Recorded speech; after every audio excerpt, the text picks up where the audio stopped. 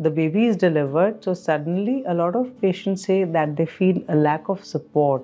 They feel their belly is pendulous and pendulous belly is hanging down. Today we would be discussing about abdominal binders after normal delivery or a cesarean section.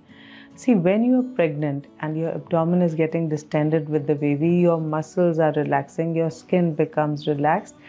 And what happens after delivery is that the baby is delivered. So, suddenly, a lot of patients say that they feel a lack of support. They feel their belly is pendulous and pendulous belly is hanging down. And they think they have problem in moving about. They have problems with their posture. So in all of these cases an abdominal binder may be of help. So it helps in patients who are obese who have a pendulous belly who have lack of support and who have problems in moving about and postural problems but it comes with its own set of risks so what happens is that some patients tie it very tightly. So it should not be too tight, it should be comfortable. If you tie it too tightly, you'll feel a lot of pressure there.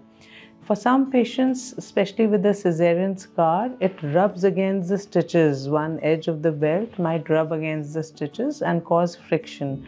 So, my advice is just to avoid that friction, wear it over a cloth and don't let it rub on the stitches. Uh, for some patients, it may cause rashes because of the material that it is made of. Uh, some patients may even have infection if it is used unhygienically. So, again, my suggestion is use it over your clothes because clothes you can wash daily, but it is difficult to wash the belt daily. So wear a clean belt which should not be too tight. The patients ask us the question, ma'am, what size? How do I know whether it is fitting well or not?